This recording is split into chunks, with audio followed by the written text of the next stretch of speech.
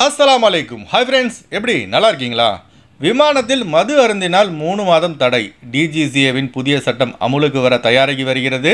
மிக முக்கியமான நியூஸை பார்க்க போகிறோம் அடுத்து எட்நூறு வெளிநாட்டவர்களை திடீரென பணி நீக்கம் செய்த குவைத் அரசு. அந்த நியூஸ் பார்க்க போகிறோம் அடுத்து வாகன ஓட்டுநர்களுக்கு எச்சரிக்கை விடுத்த த ஜென்ரல் டிராஃபிக் டிபார்ட்மெண்ட் அதிர்ச்சி வீடியோ வெளியாகி உள்ளது. இப்படி பல முக்கியமான தகவல் இந்த வீடியோவில் இருக்குது வீடியோ ஃபுல்லாக பாருங்கள் உங்கள் நண்பர்கள் அனைவருக்கும் கட்டாயமாக இந்த வீடியோ ஷேர் செய்யுங்க. இப்போ வாங்க குவைத்துடைய மிக முக்கியமான நியூஸை பார்ப்போம். குவைத்தின் மிக முக்கியமான சாலையில் ஃபுட் டெலிவரி ரைடரின் பைக் மீது காரை வேண்டுமென்று மோதிய குற்றத்திற்காக டாக்ஸி டிரைவர் கைது செய்யப்பட்டுள்ளார்.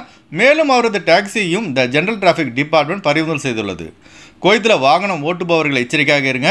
எவனுமே பார்க்கல நினச்சிட்டு காரை ஓட்டாதீங்க. ரோட்டில் மட்டும் கேமரா இல்லைங்க. எல்லோரும் கையிலையும் கேமரா இருக்குது அடுத்த தகவல் நேற்று நடந்த நாடாளுமன்ற குழு கூட்டத்தில் சுற்றுச்சூழல் சம்பந்தமாக விவாதம் அமைச்சரவையில் நடைபெற்ற போது குவைத்தி வீடுகளின் மேல் வைக்கப்பட்டிருக்கும் தகவல் தொடர்பு டவரால் சுற்றுச்சூழல் பாதிப்படைகிறது. மேலும் அதிலிருந்து வெளியாகும் ரேடியேஷனால் பலருக்கு உடல் ரீதியான பாதிப்புகள் ஏற்பட அதிக வாய்ப்புள்ளதாக எம்பி ஹாமத் அல் மத்தார் அவர்கள் விவாத குழுவில் தெரிவித்தார். குவைத்தி வீடுகளின் மேல் அமைக்கப்பட்டுள்ள தகவல் தொடர்பு டவர்களை மக்களின் நலன் கருதி அகற்றுமாறு தெரிவித்தார்கள்.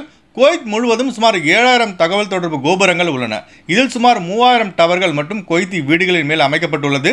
தகவல் தொடர்பு டவர்கள் அமைக்கப்பட்டிருக்கும் வீடுகளுக்கு மாதா மாதம் மூவாயிரம் கொய்தினரை தனியார் கம்பெனிகள் அந்த வீட்டு உரிமையாளர்களுக்கு வழங்குவது குறிப்பிடத்தக்கது. அடுத்த தகவல். பல்வேறு அரபு நாடுகளைச் சேர்ந்த வெளிநாட்டவர்கள் அதாவது மஸ்ரே லெப்னானி சிரியா ஆகிய நாடுகளைச் சேர்ந்த எட்நூறு வெளிநாட்டவர்களை உள்துறை அமைச்சகம் அதிரடியாக அவர்களின் பணிக்காலம் முடிவதற்கு முன்பாக வேலையை விட்டு தூக்கியுள்ளது. இந்த எட்நூறு வெளிநாட்டவர்களுக்கும் ஒரு மாத கால அவகாசத்தை மினிஸ்டர் ஆஃப் இன்டீரியர் வழங்கியுள்ளது. இந்த ஒரு மாதத்துக்குள்ள வேறு வேலையை அவங்க பார்க்கணும். அப்படி இல்லைன்னா கோயத்தை விட்டு வெளியேறணும். இப்போ மினிஸ்டர் ஆஃப் இன்டீரியரில் வேலை செய்கின்ற அரபுகாரனை தூக்குறாங்க. அடுத்த ஆப்பு நமக்கு தான் போல. அடுத்த தகவல்.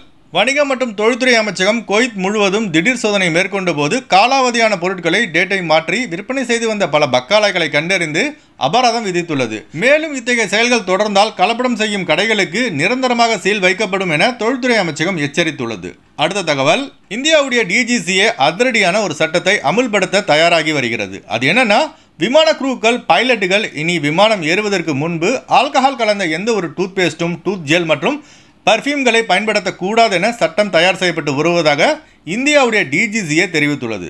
அதுபோல ஒவ்வொரு விமானியும் விமானத்தை இயக்குவதற்கு முன்பாக பன்னெண்டு மணி நேரம் மது குடிக்காமல் இருக்க வேண்டும். விமானம் இயக்கப்படும் முன்பு எடுக்கப்படும் டெஸ்டில் பைலட்டின் உடலில் ஆல்கஹால் லெவல் கொஞ்சம் காணப்பட்டாலும் அந்த விமானிகளுக்கு மூணு மாதம் விமானத்தை இயக்க தடை விதிக்கப்படும்.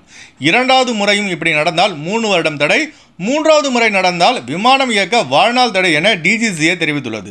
ரெண்டாயிரத்தி இருபத்தி ரெண்டாம் ஆண்டு நாற்பத்தி ஒரு பைலட்டுகள் மற்றும் நூற்றி பதினாறு கேபின் குரூக்களுக்கு எடுக்கப்பட்ட ஆல்கஹால் டெஸ்டில் அவர்கள் மது அருந்தியது உறுதி செய்யப்பட்டதால் அவர்களது உரிமங்கள் டெம்பரவரியாக ரத்து செய்யப்பட்டதாக கூடுதல் தகவலை இந்தியாவின் டிஜிசிஏ தெரிவித்துள்ளது. எனக்கு தெரிஞ்சுங்க இதற்கு பதில் விமானத்தை இயக்கும் பைலட்டுகள் எப்போதுமே குடிக்கக்கூடாது என சட்டம் போட்டால் நல்லாயிருக்கும். ஏன்னா பைலட்டை நம்பி பல பேர் விமான பயணம் செய்கிறாங்க இந்தியாவின் இந்த புதிய சட்டம் சம்பந்தமாக நீங்கள் என்ன நினைக்கிறீங்கன்னு சொல்லி மறக்காம கமெண்ட் பாக்ஸில் பதிவு செய்யுங்க. அடுத்து வாங்க ஃப்ளைட் ரூட் அப்டேட் பார்ப்போம். குறைந்த கட்டணத்தில் விமான டிக்கெட் எடுக்க விரும்புபவர்கள் ஸ்க்ரீனில் தெரிகிற ஜியா டிராவல்ஸ் நம்பரை கான்டெக்ட் பண்ணிவிட்டு குறைந்த கட்டணத்தில் விமான டிக்கெட் எடுத்துக்கொள்ளலாம் அதுபோல பிசிசி மெடிக்கல் ஸ்டாம்பிங் இந்த ப்ராசஸும் செய்யப்படுகிறது சென்னை டு குவைத் பதினாலாயிரம் ரூபாய்க்கு ஏர் அரேபியாவில் ஃப்ளைட் டிக்கெட் எடுக்கலாம். குவைத் டு சென்னை முப்பது குவைத்தினருக்கு இண்டிகோ ஏர்லைன்ஸில் ஃப்ளைட் டிக்கெட் எடுக்கலாம். திருச்சி டு குவைத் பதிமூணாயிரம் ரூபாய்க்கு இண்டிகோ ஏர்லைன்ஸில் ஃப்ளைட் டிக்கெட் எடுக்கலாம். குவைத் டு திருச்சி முப்பத்தி மூணு கொய்தினாருக்கு இண்டிகோ ஏர்லைன்ஸில் ஃப்ளைட் டிக்கெட் எடுக்கலாம். திருவனந்தபுரம் டு கொய்த் பதினாறாயிரம் ரூபாய்க்கு ஸ்ரீலங்கன் ஏர்லைன்ஸில் ஃப்ளைட் டிக்கெட் எடுக்கலாம். குவைத் டு திருவனந்தபுரம் முப்பது குவைத்தினாருக்கு இண்டிகோ ஏர்லைன்ஸில் ஃப்ளைட் டிக்கெட் எடுக்கலாம். ஹைதராபாத் டு குவைத் பதினாலாயிரத்தி ஐநூறு ரூபாய்க்கு உமன் ஏர்வேஸில் ஃப்ளைட் டிக்கெட் எடுக்கலாம். குவைத் டு ஹைதராபாத் முப்பது குவைத்தினாருக்கு ஏர் அரேபியாவில் ஃப்ளைட் டிக்கெட் எடுக்கலாம். மதுரை டு குவைத் பதினாலாயிரத்தி எழுநூறு ரூபாய்க்கு ஏர் இந்தியாவில் ஃப்ளைட் டிக்கெட் எடுக்கலாம். குவைத் டு மதுரை முப்பது குவைத்தினாருக்கு ஏர் இந்தியாவில் ஃப்ளைட் டிக்கெட் எடுக்கலாம். கோயம்புத்தூர் டு குவைத் பதினஞ்சாயிரத்தி இரநூறுபாய்க்கு ஏர் இந்தியாவில் ஃப்ளைட் டிக்கெட் எடுக்கலாம்.